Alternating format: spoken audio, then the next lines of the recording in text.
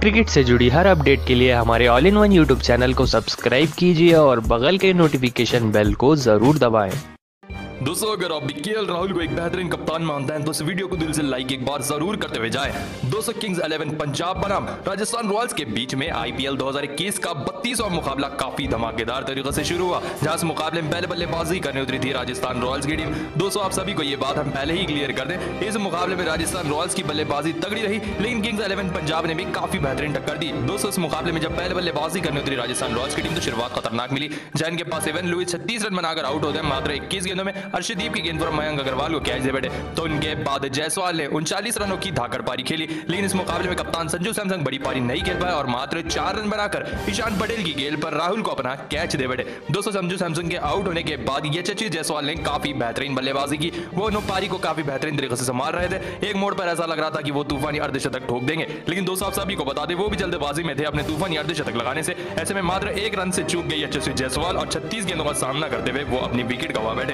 तो उनके बाद लियाम लिविंगस्टोन भी 25 रन बनाकर शदीप गेंद पर फैबियन एलन को अपना कैच दे बैठे तो उनके बाद आया लुमरोर का तूफ़ान। दोस्तों मुकाबले में तिरयालीस रनों की लुमरोर ने धाकड़ पारी खेली। सिर्फ़ और सिर्फ़ सत्रह गेंदों में, जिसमें से लुमरोर ने चार तूफानी छक्के व दो तूफानी चौके जड़े। ऐसा लग रहा था कि मैदान पर युवराज सिंह बल्लेबाजी कर रहे हैं। जी हाँ दोस्तों, राजस्थान रॉयल्स को मिला युवराज सिंह। ऐसे में ऐसा लग रहा था कि युवराज सिंह ही धाकड़ बल्लेबाजी कर रहे हैं। लेकिन वो भी अर्शदीप की गेंद पर मार्क्रम को अपना कैच दे बैठे उनके बाद रियान पराग, जो कि यंगर खिलाड़ी हैं, वो भी बड़ी पारी नहीं खेल पाए और रियान पराग भी चार रन बनाकर अपनी विकेट गवा बैठे। ऐसे में दोस्तों आप सभी को बता दें के बाद राहुल टिवाटिया को मोहम्मद शामी ने क्लीन बोल्ड कर रख दिया। ऐसे कर कर लगभग छह बड़े विकेट राजस्थान रॉयल्स के गिर चुके थे। ऐसे में उसके बाद क्रिस मॉरिस भी बड़ी पारी नहीं खेल पा मात्र पाँच रन बनाकर शामी की गेंद पर आउट हो गए। तो उनके बाद चेतन साकारिया भी सात रन बनाकर आउट हो गए। उनके बाद कार्तिक त्यागी मात्र एक रन बनाकर शदीप की गेंद पर क्लीन बोल्ड होकर रह गए। ऐसे में दोस्तों सभी को बता दें, पूरी राजस्थान रॉयल्स की टीम अपने निर्धारित बीस ओवर में एक रन बनाने में सक्षम हो पाई दस विकेट के नुकसान पर। जी हाँ दोस्तों, राजस्थान रॉयल्स की टीम ने पहले बल्लेबाजी करते हुए एक रन स्कोर बोर्ड पर लगा दिए थे। जो इस पिच के हिसाब से काफ़ी डिसेंट टोटल था।